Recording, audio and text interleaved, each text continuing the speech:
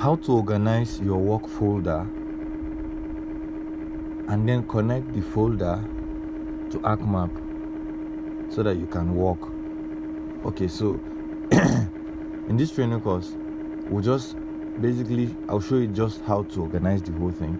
Now, first and foremost, you must have a work folder you're planning to work on. Like me, basically, I use my local drive, I create a folder called work. Now, whatever I want to do, whatever at all I'm going to be doing, will be put inside. This is a project, this is a project also. So, I will keep putting them there as far as it is a work.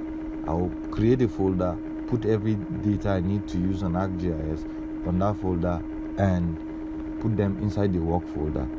So to now connect, there are two ways. You either come to catalog or you use this uh, plus sign.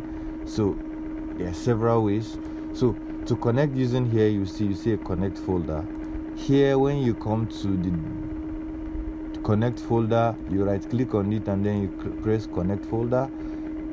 Then you just put this my PC, this PC. Then you go down to drive, local disk C then you see a work just click on it and okay here is also the same thing.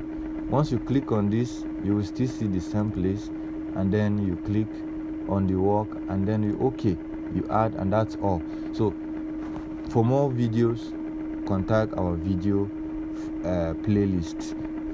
Thank you